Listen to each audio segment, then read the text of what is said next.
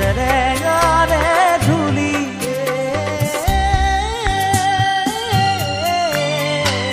দরে থাকি মে গই তোমাকে